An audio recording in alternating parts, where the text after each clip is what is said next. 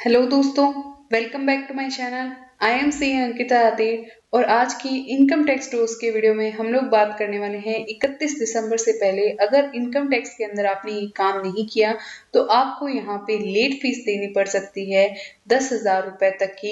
यानी कि 31 दिसंबर के बाद आपको यहाँ पे लेट फ़ीस का पेमेंट करना पड़ेगा दस हज़ार रुपए। तो क्या है ये काम? अगर आप भी जानना चाहते हैं तो आप मेरे इस वीडियो को पूरा एंड तक देखिए। साथ ही अगर आपको मेरे वीडियोस अच्छे लगते हैं तो आप उन्हें ज़्यादा से ज़्यादा लाइक कीजिए शेयर कीजिए अपने और भी फेसबुक व्हाट्सएप ग्रुप के अंदर, और अगर अभी तक आपने मेरे चैनल को सब्सक्राइब नहीं किया है तो उसे सब्सक्राइब करने के साथ साथ बेल बटन को प्रेस कर दीजिए, ताकि ऐसे ही लेटेस्ट वीडियो अपडेट जो है, आप सभी को मिलते रहें। तो चलिए स्टार्ट करते हैं हमारे आज की इस वीडियो को। लेकिन वीडियो को स्टार्ट करने से पहले, मैं आप इस सभी को बता देना चाहती हूँ कि आप सब जुड़ सकते हैं मेरे साथ मेरे टेलीग्राम चैनल पे, जिसका लिंक मैंने वीडियो के डिस्क्रिप्शन में दिया है, और साथ में आप ज्वाइन कर सकते हैं मेरी यूट्यूब की मेंबरशिप को, जिसका लिंक भी मैंने वीडियो के डिस्क्रिप्शन में दिया है। तो चलिए स्टार्ट करते हैं आज के इस वीडियो को। तो जब हम बात करते हैं इनकम टैक्स के अंदर आपको कौन सा ऐसा काम करना है तो यहाँ पे आपको फ़ाइल करना है अपना इनकम टैक्स रिटर्न अगर वो आपने फ़ाइल नहीं किया है इकतीस जुलाई, तीस सितंबर तक और तीस नवंबर तक तो ये तीन ड्यू डेट मैंने यहाँ पे मेंशन की है। किन किन पर्सन के लिए ये तीन ड्यू डेट जो है एप्लीकेबल होगी, वो आगे इस वीडियो में हम जानेंगे। लेकिन मैं यहाँ यहाँ पे आपको बता देना चाहती हूँ कि अगर आपने अपना income tax return for the financial year 2018-19 नहीं फ़ाइल किया है और आप यहाँ पे फ़ाइल करने वाले हैं तो उसे 31 दिसंबर से पहले पहले फ़ाइल कर दीजिए ताकि आपको कम लेट फ़ीस देनी पड़े, वरना आपको जो है 31 दिसंबर के बाद फ़ाइल करने पे आपको यहाँ पे जो है लेट फ़ीस देनी पड़ेगी दस हज़ार रुपए तक की। साथ में यहाँ पे लेट फ़ीस जो है, वो कौन से सेक्शन के अंदर अप्लीकेबल है? तो वो है सेक्शन 234 एफ़ के अंदर इनकम टैक्स एक्ट का, जो कि इंट्रोड्यूस किया गया था फाइनेंशियल ईयर 2017-18 से। तो यहाँ पे लेट फ़ीस क्या है 234 एफ़ की? 234 एफ़ की जो लेट फ़ीस है, उसको हम देखते हैं इनकम टैक्स एक्ट क्या बोलता है? तो सेक्शन 234 एफ़ की अगर मैं बात करूँ तो वो बात करता है आपकी fees for default in furnishing of return of income यानी कि जो person return of income income tax के अंदर इनकम टैक्स रिटर्न नहीं फ़ाइल करते हैं, उसमें डिफ़ॉल्ट करते हैं तो उनको ये फ़ीस जो है पे करनी होती है। तो सेक्शन 234 एफ़ का सब सेक्शन वन बोलता है without prejudice to the provision of this act where the person is required to furnish return of income under section 139 तो 139 के अंदर कौन से पर्सन को रिटर्न ऑफ़ इनकम फ़ाइल करना है, वो आगे इस वीडियो में हम देखेंगे। Fails to do within the prescribe time limit जो कि सबसेक्शन वन के अंदर मैंशन है, जो मैंने तीन ड्यू डेट बोली, वो तीन ड्यू डेट ही मेंशन है। कौन कौन से पर्सन के लिए एप्लीकेबल है, वो आगे इस वीडियो में हम देखेंगे। He shall pay by way of fee is sum of 5000 rupees if the return furnished on or before 31st day of December, यानी कि 31 दिसंबर से पहले अगर आप अपना रिटर्न ऑफ़ इनकम फ़ाइल कर देते हैं तो आपको 5000 की लेट फ़ीस देनी पड़ेगी। लेकिन अगर आप यहाँ पे जो है फ़ाइल करते हैं, अपना रिटर्न 31 दिसंबर के बाद 31 मार्च से पहले पहले तो आप यहाँ पे दस हज़ार की पेनल्टी आपको यहाँ पे देनी पड़ेगी।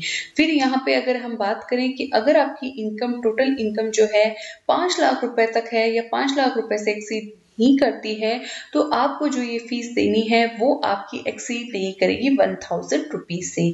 अब यहाँ पे हम दो तीन टॉपिक्स जो है, जैसे return of income under section 139 किसको फ़ाइल करना है ड्यू डेट क्या है, कौन से टैक्स पेयर्स को फ़ाइल करना है, वो सारे पॉइंट्स जो है, अब यहाँ पे हम डिस्कस कर लेते हैं। फिर से मैं आ गई हूँ मेरे प्रेजेंटेशन पे और प्रेजेंटेशन पे आने के बाद मैं आप सभी के साथ शेयर करूँगी कि कौन से ऐसे पर्सन हैं जिनको रिक्वायर्ड है इनकम टैक्स रिटर्न भरना मैंडेटरी सबसे पहले ऐसे पर्सन जिनका ग्रॉस टोटल इनकम यहाँ पे जो मैं बात कर रही हूँ, वो है ग्रॉस टोटल इनकम यानी कि आपके पाँचों हेड्स जो आपकी इनकम के हेड्स हैं, उनको क्लब करने के बाद और डिडक्शन से पहले, जो कि 80 सी से 80 यू तक आपको मिलती है इनकम टैक्स के अंदर तो उनसे पहले आपकी जो इनकम रहती है, वो आती है ग्रॉस टोटल इनकम जो कि एक्सीड करती है बेसिक एग्जामेशन लिमिट से। तो बेसिक एग्जामेशन लिमिट क्या है? अगर आप एक इंडिविजुअल हैं और आप आपकी एज है बिलो सिक्सटी तो यहाँ पे आपकी बेसिक एग्जामेशन लिमिट है टू लैख फिफ्टी थाउज़ेंड यानी कि ढाई लाख रुपए। अगर आपकी एज है साठ साल या उससे ज़्यादा और लेकिन है कम एज 80 ईयर से कम तो आपकी यहाँ पे बेसिक एग्जामेशन लिमिट है थ्री लैख और अगर आपकी एज है इंडिविजुअल होते हुए 80 ईयर से अबव तो आपका बेसिक एग्जामेशन लिमिट जो है पाँच लाख रुपए। अगर आप डिटेल में जानना चाहते हैं ग्रॉस टोटल इनकम डिडक्शंस के बारे में या बेसिक एग्जामेशन लिमिट के बारे में तो ऑलरेडी मेरे चैनल पे वीडियोस अवेलेबल हैं। तो वो सारे वीडियोस जो है, मैंने इनकम टैक्स रूल्स की प्लेलिस्ट में जाके क्लब किए हैं तो आप उस प्लेलिस्ट को जाके देख लीजिए। उस प्लेलिस्ट का लिंक मैंने आई बटन पे लिंक कर दिया है वीडियो के डिस्क्रिप्शन में भी दिया है। फिर यहाँ पे ऐसे पर्सन जो कि होल्ड करते हैं एसेट और जिसका फाइनेंशियल इंटरेस्ट जो है, उस एंटिटी का ऐसे फाइनेंशियल इंटरेस्ट है, ऐसी एंटिटी में जो कि लोकेटेड है आउटसाइड इंडिया या फिर आप एक साइनिंग अथॉरिटी है, उस अकाउंट के लिए जो कि अकाउंट लोकेटेड है आउटसाइड इंडिया आप एक बेनिफिशियल ओनर है उस टैक्स अकाउंट के तो आप यहाँ पे मैंडेटरी फ़ाइल करेंगे इनकम टैक्स रिटर्न फिर यहाँ पे आती बात है कि अगर आप यहाँ पे बेनिफिशियरी है, कोई भी एसेट की, जो कि एसेट आपकी लोकेटेड है आउटसाइड इंडिया तो इन सारे पर्सन को यहाँ पे मैंडेटरी फ़ाइल करना है इनकम टैक्स रिटर्न तो यहाँ पे इनकम टैक्स रिटर्न जो है, आपको जो इंडिविजुअल है, उनको I T R one I T R two I T R three I T R four file कर सकते हैं। तो उनकी ड्यू डेट्स जो अब क्या होगी? तो ड्यू डेट्स की अगर मैं यहाँ पे बात करूँ, जो कि मेंशन है हमारे सेक्शन 139 वन के अंदर तो सबसे पहले आते हैं इंडिविजुअल जिनको रिक्वायर्ड नहीं है ऑडिट करवाना तो उनके लिए ड्यू डेट है थर्टी फ़र्स्ट जुलाई।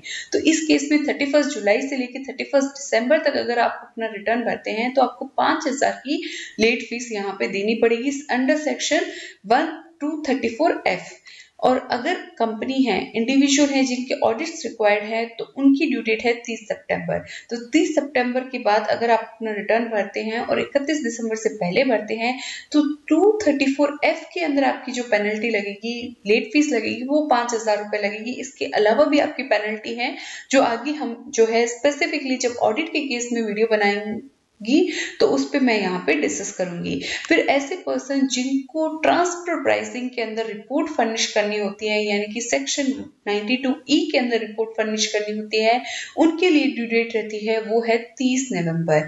तो सेम यहाँ पे जो क्राइटेरिया है, वो रहता है 31 दिसंबर तक। इन ड्यू डेट्स के बाद अगर आप फ़ाइल करते हैं इकतीस दिसंबर के बाद तो आपकी पेनल्टी यहाँ पे जो है, पाँच हज़ार की जगह दस हज़ार की लेट फ़ीस यहाँ पे एप्लीकेबल होगी। तो यहाँ पे अगर आप अपना रिटर्न 31 जुलाई के बाद फ़ाइल करते हैं और 31 दिसंबर से पहले फ़ाइल करते हैं तो पाँच हज़ार की लेट फ़ीस 31 दिसंबर के बाद फ़ाइल करते हैं 31 मार्च से पहले फ़ाइल करते हैं तो दस हज़ार की लेट फ़ीस और उसके बाद अगर आपकी टोटल इनकम जो है, अगर वो है लेस देन और equal to five lakh rupees तो आपकी टोटल लेट फ़ीस जो लगेगी मैक्सिमम आपकी थाउज़ेंड रुपीज़ यहाँ पे लग सकती है, उससे ज़्यादा आपकी एप्लीकेबल नहीं होगी। फिर हम यहाँ पे एग्ज़ाम्पल के तौर पर समझ लेते हैं कि 234F का डिफरेंट डिफरेंट सिनेरियो क्या हो सकते हैं। अगर आपकी टोटल इनकम है थ्री लाख रुपीज़ और आपने अपना रिटर्न जो है पाँच जुलाई तक फ़ाइल कर दिया है।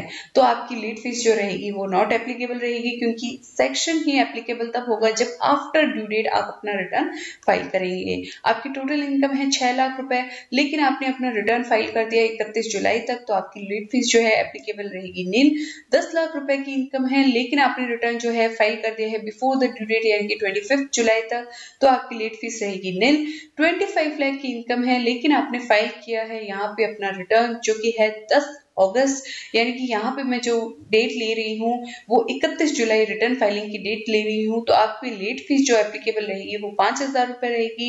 फिर हम बात करते हैं कि आपकी इनकम है चार लाख रुपए, यानी कि पाँच लाख रुपए से कम है, और आपने अपना रिटर्न फ़ाइल किया है इकतीस दिसंबर के बाद। लेकिन यहाँ पे आपकी लेट फ़ीस जो एप्लीकेबल होगी, वो दस हज़ार रुपए होगी दस हज़ार रुपए ना होके एक हज़ार रुपए होगी, क्योंकि आपकी इनकम जो है वो पाँच लाख रुपए से कम है।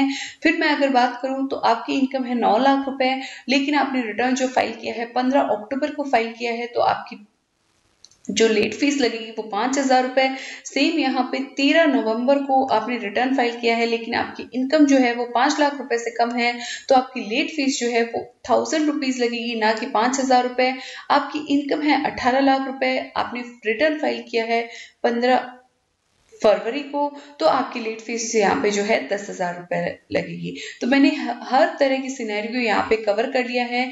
तो आशा है आपको इस वीडियो से यहाँ पे क्लैरिटी मिल गई है कि सेक्शन 234 एफ़ की लेट फ़ीस क्या है, कैसे आप अपने लेट फ़ीस को बचा सकते हैं। अगर आप अपना रिटर्न जो है टाइमली फर्निश करते हैं, साथ में अगर आप अपना रिटर्न जो है इकतीस दिसंबर से पहले फर्निश कर देते हैं तो आपको यहाँ पे पाँच हज़ार रुपए की लेट फ़ीस जो है, वो यहाँ पे पे करनी पड़ेगी। लेकिन अदर सिनेरियो के अंदर अगर आप अपना रिटर्न फ़ाइल नहीं करते हैं तो आपको दस हज़ार की लेट फ़ीस अप्लीकेबल रहेगी।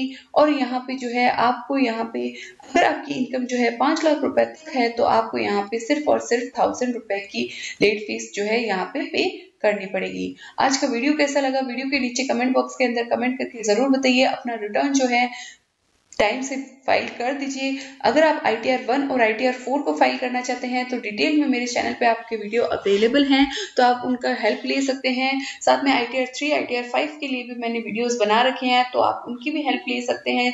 उन वीडियोस को, सारे वीडियोस को मैंने यहाँ पे इनकम टैक्स रूल्स की प्लेलिस्ट में रखा है, आप वहाँ से जाके उन वीडियोस को देख सकते हैं। आज के इस वीडियो में बस इतना ही। मिलते हैं ऐसे ही लेटेस्ट वीडियो अपडेट के साथ। तब तक के लिए कीप वॉचिंग स्टे अपडेटेड जय हिंद।